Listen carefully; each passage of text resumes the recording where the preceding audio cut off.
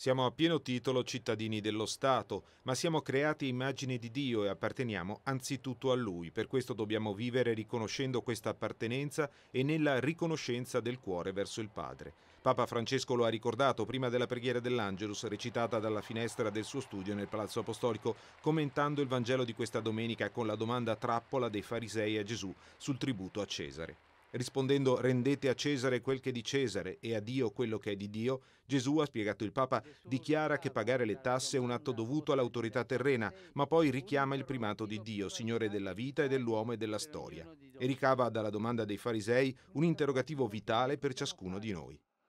A chi appartengo io?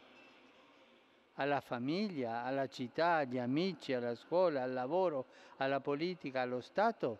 Sì, certo ma prima di tutto ci ricorda Gesù, tu appartieni a Dio.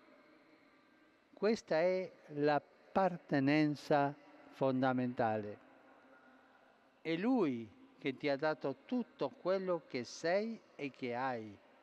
E dunque la nostra vita, giorno per giorno, possiamo e dobbiamo viverla nel riconoscimento di questa nostra appartenenza fondamentale e nella riconoscenza del cuore verso il nostro Padre che crea ognuno di noi singolarmente, irrepetibile, ma sempre secondo l'immagine del suo figlio amato, Gesù.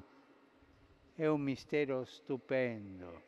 Quindi, ha concluso Francesco, il cristiano è chiamato a impegnarsi concretamente nelle realtà umane e sociali senza contrapporre Dio e Cesare, che sarebbe un atteggiamento fondamentalista, ma illuminando le realtà terrene con la luce che viene da Dio. Affidarsi prima di tutto a Dio non è una fuga dalla realtà, ma rendere operosamente a Dio quello che gli appartiene. Il credente guarda alla realtà futura, quella di Dio, per vivere la vita terrena in pienezza e rispondere con coraggio alle sue sfide.